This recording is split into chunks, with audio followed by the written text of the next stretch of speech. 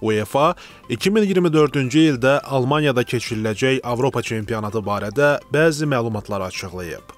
Qurumun rəsmi saytındakı xəbərdə bildirilir ki, Rusiya millisi yarışda iştirak etməyəcək. Buna səbəb Rusiyanın Ukraynaya hərbi müdaxiləsidir.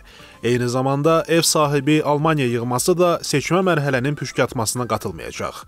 Digər seçmələr isə hərəsində 5 komanda olan 7 və hərəsində 6 yığma olan 3 qrupda yer alacaq.